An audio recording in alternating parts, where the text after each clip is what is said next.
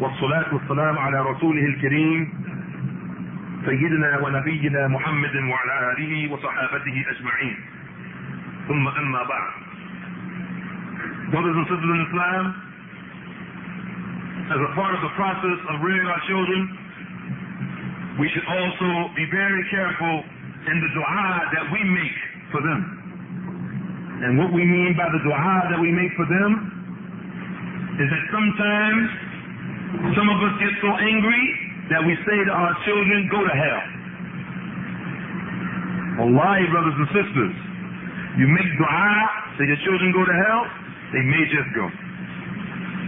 If you think this is not a dua, then you need to check. Check the origin of a statement like this. Get out of our face and go to hell. Go to hell. You say this to your parents, you say this to your children, you say this to each other, you're making dua. And it just may be that your dua be accepted. And it may even be accepted for you. Because the angels, when you make dua for your brother, whether it is good or evil, then the angels say, وَلَكَ مِثْلُ Then may you have the same. Brothers and sisters in Islam, as a part of the process of raising our children, we have to be very careful on how we treat each other, husband and wife, um and akh. We should not allow them to see us argue, and we're going to argue, but we should not allow the children to see us have these, these arguments as though we need to be in a boxing ring. Brothers and sisters in Islam, those of you who are parents, you should also be very careful in not trying to show favorites among your children. Even though it's natural to have a favorite, be very careful of not showing the favoritism over, of one child over another. And you should be very careful, brothers and sisters in Islam, to not say to your children, don't believe your own. Don't believe Abby, he's a liar. Don't believe your mother, she's a liar. She doesn't tell the truth. She's not honest. Don't do this, brothers and sisters. Even though your nafs calls you to make you do this, seek refuge with Allah subhanahu wa ta'ala to restrain your nafs. For surety, for those who restrain their nafs and fear standing in front of Allah subhanahu wa ta'ala, Allah subhanahu wa ta'ala will give them jannatul ma'wa. And lastly, but not at least, brothers and sisters in Islam, we should be very careful on how we dress our children. We should dress our children in a manner that makes them look like Muslims. And if we are enjoining them, joining on them to do this, and we ourselves are not doing it, then what type of example do you think we're setting for? Brothers and sisters in Islam, we should make sure that our children, when they go to school, whether it is a Muslim school or a Catholic school, that they are distinguished as a Muslim. That they have some type of demarcation in their comportment, that they are Muslims. Get the little ones to love putting a little handkerchief or scarf on their head. Get the little ones to love putting a kufi or something, like a foul, so that he can be distinguished and have the psychology of a Muslim. Because for surety, brothers and sisters, the clothing has a psychological effect on the individual. No doubt. The way you dress has an effect on how you think. You think about it among yourselves, those of you who commit sin. May Allah forgive you and all of us. When you want to do something wrong, you take off your kufi. When you want to do something wrong, you take off your khimar. Why? Why? Don't say that the clothing has nothing to do with it. It does. Impress on your children, brothers and sisters, and impress on yourself as an example to change the actual clothing that you wear so that the Muslim children can grow up being proud of being a Muslim and not coming to the master or wherever with Mickey Mouse or Hulk Hogan or whatever on their chest. Pictures of all these kuffar who are going to the hellfire glorifying these individuals, had their heads turned around, dreadlocks. How can you allow your children to wear dreadlocks? How can you allow your children to dress like Simpson, this, this fool uh, cartoon? How can you do it and say that, that you're wearing them as Muslims? How can you allow your children to walk around with their pants hanging off their buttocks, showing their underwear. Pants dragging to the ground where the prophet said that which is below the ankles is in the hellfire. How can you do it? Brothers and sisters, if we don't take responsibility of rearing our children properly, if we don't take the responsibility of teaching our children and forming our children, then we, brothers and sisters, as the Prophet said, we're ra'yatihi. We are responsible for those things that are under our care, and we're going to stand in front of Allah subhanahu wa ta'ala on how we taught them, or the lack of how we didn't teach them. We ask Allah subhanahu wa ta'ala to make us examples for our children. We ask Allah subhanahu wa ta'ala to give us the courage to teach our children the Quran and love the Quran and teach them the Sunnah and love the Sunnah and teach them about Allah and love of Allah and teach them about the Messenger of Allah and the love of the Messenger of Allah. We ask Allah subhanahu wa ta'ala, brothers and sisters, to make our schools Islamic schools, not Muslim schools, Islamic schools, where the boys are separated from the girls, where the hijab is observed, where the Quran is being recited throughout the classrooms. We ask Allah for this. We ask Allah subhanahu wa ta'ala to give us the resources to teach our children that the best education is the education of Islam and that these other things are only bonuses. Because as Ibn Qayyim al-Jawziyya said, إن العبد لم لو لو عرف كل شيء ولم يعرف ربه فكأنه لم يعرف شيئا. He said that the slave of Allah subhanahu wa ta'ala, that if he knew everything and he didn't know his Lord, it is as though he didn't know anything. We need to impress us on their minds, brothers and sisters, and we ask Allah to give us children in schools like this. أقول قولي هذا واستغفر لي ولكم ولسائر المسلمين أجمعين في كل مكان. سبحانك اللهم وبحمدك أشهد أن لا إله إلا أنت أستغفرك وأتوب إليك.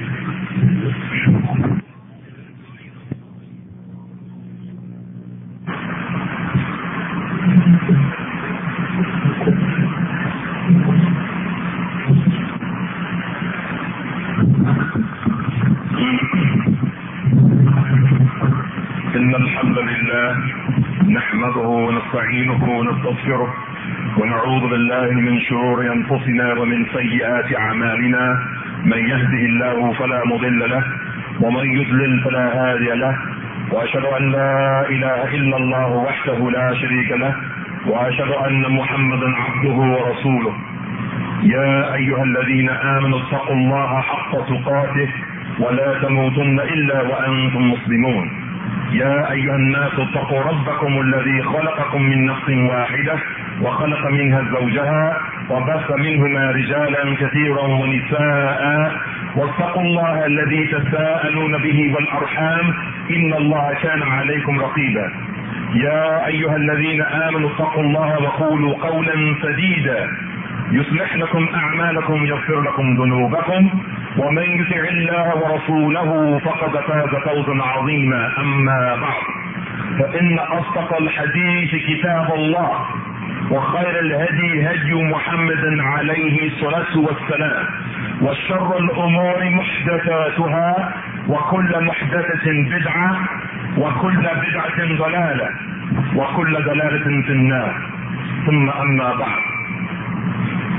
Brothers and sisters in Islam, there is a disease among the many amrad or diseases that has plagued this ummah of Muhammad sallallahu alayhi wa sallam.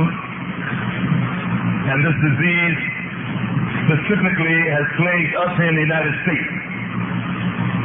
We've talked in the past during the khutbah for the Eid and in a few of the khutbahs for Jum'ah and in lectures and in classes and in halaqat after Fajr and Maghrib and just in casual speech as we walk through the streets and have our aqiqahs and our walimas, we talk about this disease.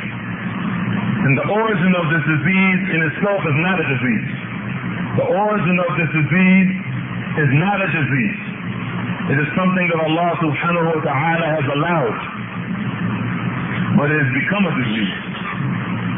And that disease, brothers and sisters, is kathratul talaq. Is the abundance of the divorce. The Muslim can no longer boast. The Muslim can no longer brag. And when we say boast and brag, we mean boasting and bragging in the positive sense and the halal sense. Because in some cases, boasting is halal.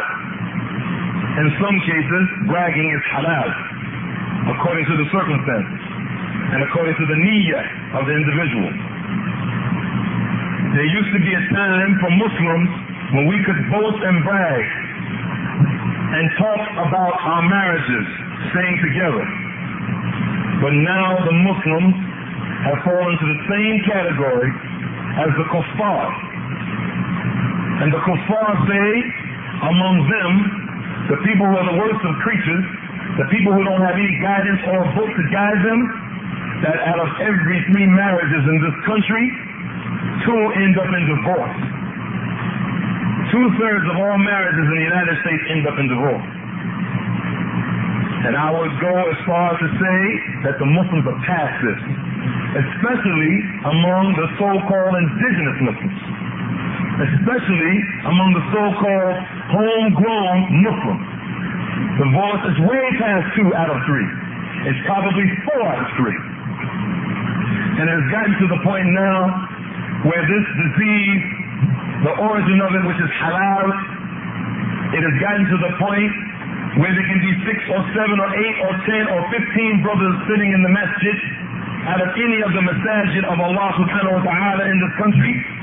You choose a state and you'll find six or seven or ten or fifteen brothers that know what four or five other sisters sitting right there in the same masjid look like with no clothes on. This one's been married to this one, and that one's been married to this one, and that one's been married to that one, and that one to this one, to the point when we come together for an aqiqah, or walima, or jum'ah, or anything. I know what you look like behind closed doors, and you know what I look like behind closed doors. Where's the privacy? Where's the khulwa? Where's the modesty? When my wife knows what you look like, and your wife knows what I look like, and you had her, and then you go back to her, and you divorce her, and you go back to her, and you divorce her. And this brother's had her, and that brother's had her, and this brother's had her, and that brother's had her. If this is not a disease, brothers and sisters, I'm not standing on this minbar. Divorce after divorce after divorce, and the desire for the divorce. Give me a khulur, give me a khulur, give me a khulur, give me a khulur. Say it to Antikala. Say divorce me, say divorce me. To the point where we don't even know, and we don't even care if we divorce them correctly or not. The woman is on her menses, and you pronounce divorce. You just get intimate with her, and you pronounce divorce.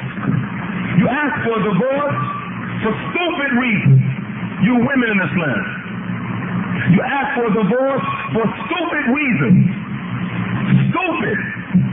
Stupid reasons the man stupidly gives it to you. The man stupidly gives it to you. And this causes disease, brothers and sisters, because now the children have seen four different abbeys in the house on five different occasions. Four different father figures, three different mother figures. And then we rely on the unauthentic narrations attributed to the Prophet. أفضل الحلال إلى الله الطلاق. The things that Allah, out of all the things that are halal, Allah hates the most is divorce. Throw these hadiths in the garbage. The Messenger of Allah never said anything like this. تزوجوا ولا تطلقوا. Marry and don't divorce. فإن الطلاق يهتز منه العرش because divorce shakes the throne of Allah subhanahu wa ta'ala. Throw this hadith in the garbage. Don't keep staying together if you need to get a divorce based on these hadith. But if you don't need to get a divorce, you need to try to stay together. The reason why, brothers and sisters, we are having so many divorces are too many. The khutbah would have to be in 10 parts, at least at least 10 weeks to talk about why we have so many divorces. Wallahu alam, how many weeks it would take. But one of them, brothers and sisters, is because we're not choosing to mate properly. We're not choosing to mate properly, brothers and sisters. We are more concerned about our car than we are our wives. We're more concerned about our dress and our overgarments than we are on selecting a husband. We're not checking, we're not selecting them properly, brothers and sisters. And we're not giving it our all in all when we make the selection. A kafir, mushrik, believing that Jesus is the Son of God. My grandfather, when I asked him, giving him dower, before he died, a kafir on his way to the hellfire. And I can say this. I can say this. Don't ask me after the khutbah, why did you say? I can say this. He's on his way to the hellfire because he didn't take shahada. Asked him after giving him dower, Grandpa, what kept you married for 60 years? My mother, when I asked her, my mother, when I asked her, who was over 60 years of age, can you ever remember my my grandfather, my grandmother having an argument and him raising his voice at her? She said no. She's over 60 years old, the oldest girl in my in my family, the oldest of the daughters. Over 60 years old. She said, I can never remember my father raising his voice at my mother. And when I asked him, what kept you together, Grandpa? He pointed to a stack of books on the right side on the end table next to his bed. Piled up with Bibles. Because of this right here, son. Point to the Bible. And that's why he had a so-called successful marriage. And I say so-called because it wasn't based on Quran and Sunnah. But the fundamentals of this marriage was from Islam. And he attributed it to a foolish, misguided piece of garbage that they call the Bible. And you have the Quran. And you have the Sunnah. And you have the way of the Salaf, our rightly guided predecessors.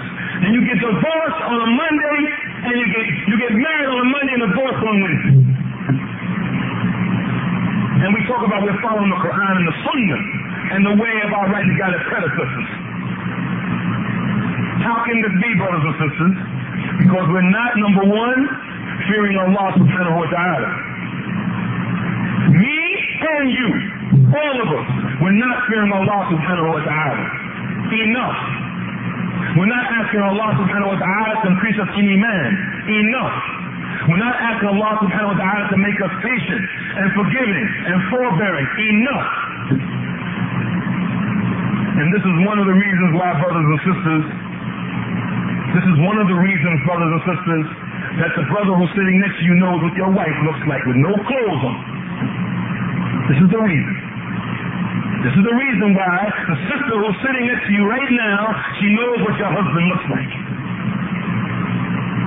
And we keep doing it over and over and over again to the point where all of us are going to be like a big communal family. Not a community, a communal family. Because we don't care. We, we spend no time on trying to keep our families together.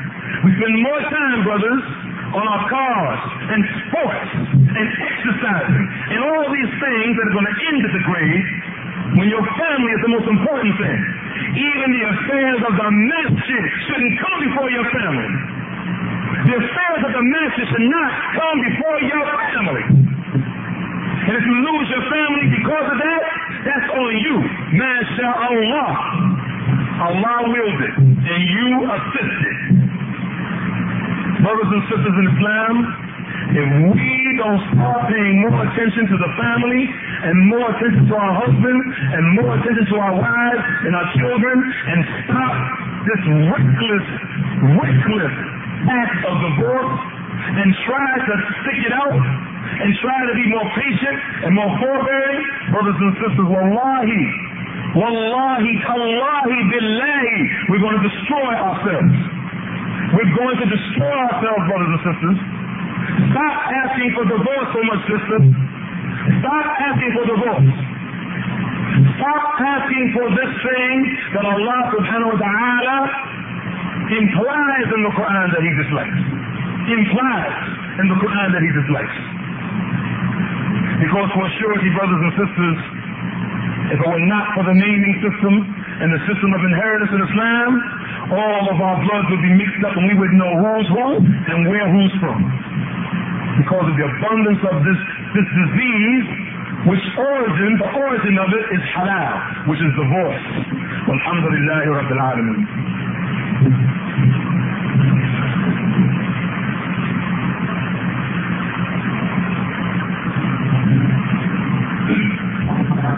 الحمد رب العالمين والصلاة والسلام على رسوله الكريم سيدنا ونبينا محمد وعلى آله وصحابته أجمعين ثم أما بعد Brothers and sisters, another angle to this plague of divorce is the whispering, the gossip, the backbiting, the slander, and Allah subhanahu wa ta'ala a'lam.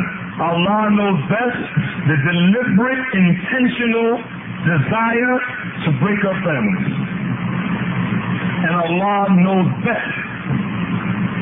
Brothers and sisters, the ulama, the scholars of Islam, are almost in unanimous agreement that one of the biggest tricks of shaitan, one of the biggest tricks of shaitan is to separate a man from his wife. Not to make you commit shirk, not to make you commit kufr or bid'ah, but to make you separate from your wife. وَيَتَعَلَّمُونَ مِنْهُمَا مَا يُفَرِّقُونَ بَيْنَ الْمَرْءِ وَزَوْجِهِ This is what Allah says in the Quran. And what they learn from the two angels, Harut and Marut, is nothing except to cause separation of a man from his wife. This is a big trick from Shaitan. So then who are you, sister, who calls the sister up and encourages her to get a divorce? Who are you? No, I'm not Shaitan. How can you say that? Well, the Prophet alayhi salatu wasalam said that in the Shaitan ليضع على عرش ليضع عرشه على الماء. He said the Shaitan places his throne over the water. فيبعث الناس فيبعث سراه في الناس and he sends out his dispatches, his army. He sends them out among the people. What does he send them out to do? He sends them out to do devilment. He sends them out to do these unscrupulous, nefarious acts of all types and all varieties. When he sends them out, some of them come back, as the hadith says, يَجِيءُ أَحَدُهُمْ فَيَقُولُ Some of them come back and they say, I stuck by this person. ما زلت بفلان وهو يقول كذا وكذا. I stuck by an individual, not abandoning him, not تركته. Shaitan's army from among the jinn and the men. And for those who don't understand what men mean here, it means men and women. From among the jinn and mankind. And I stick with the human being. And I don't leave him until he says keva wa keva, until he says this and that. Shaitan, لعنه الله عليه, لعنة الله عليه. May Allah curse him. May Allah curse Shaitan. Listen to what he says, the Prophet ﷺ said, لا والله ما صنعت شيئا. I swear by Allah, you haven't done anything.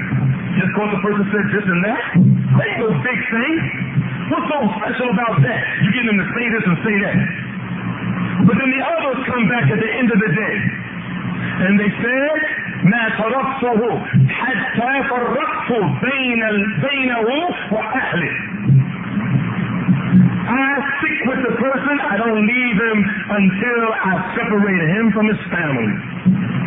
And then Shaitan, Shaitan, أعوذ بالله منه وجنوده. I seek refuge with Allah from Shaitan and his forces and his army. Shaitan, أعوذ بالله منه. He draws near to him. يقربه. He draws near to him. ويدنيه and closer to him. And then what does Shaitan do? يلتزمه. He hugs him and says, نعم أنت. Yes, you're the one. What? You're the one that did the best job for the the for the day. So now tell me, sisters, tell me, brothers, when you pour or spit or shoot that arrow of poisonous into the heart of another brother or sister against each other who's married, who are you working for? Are you working for Ar-Rahman, who's over his throne in a manner befitting his majesty, or you're working for Iblis, who also has his throne over the water? Which one are you working for? I think you're working for Shaitan. In fact, I know you're working for Shaitan. Because Shaitan desires to separate a man from his wife. Brothers and sisters in Islam, we better get a grip on ourselves. We better get a grip on these marriages, and we better run away from the thought of divorce. Saying I divorce you should be like a piece of pork chop on your tongue. Afraid of it we should be. We should try to keep these things together, brothers and sisters. At all halal costs. Whatever it takes halal, we should do it. Whatever it takes. Whatever it takes, as long as it's halal, we should do it, brothers and sisters. Because we're wallahi, brothers and sisters, what's going to be the difference between us and the kuffar? What makes us distinguish between the kuffar?